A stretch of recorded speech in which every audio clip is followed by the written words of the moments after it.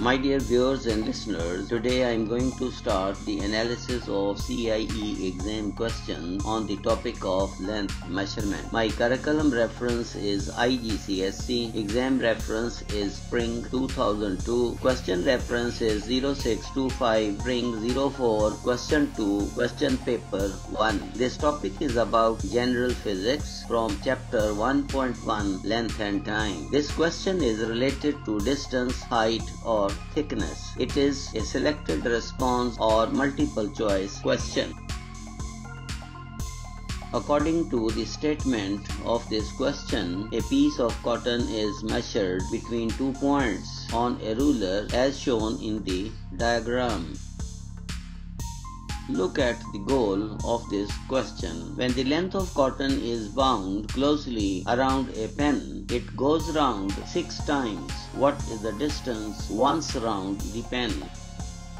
Now look at the options for the distance of cotton once round the pen. Option A 2.2 cm, option B 2.6 cm, option C 13.2 cm and option D is equal to 15.6 cm.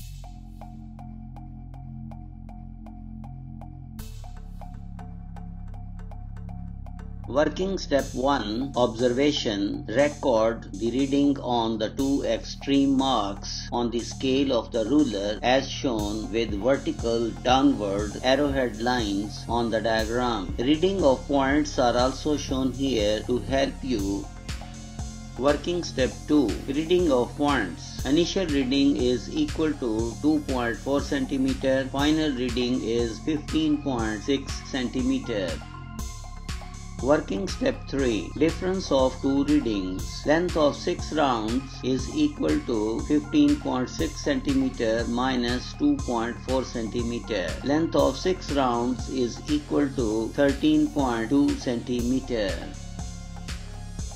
Working step 4 Calculation and correct option. Length of 6 rounds is equal to 13.2 cm. Length of 1 round is equal to 13.2 division 6 is equal to 2.2 cm. Therefore correct option is equal to A.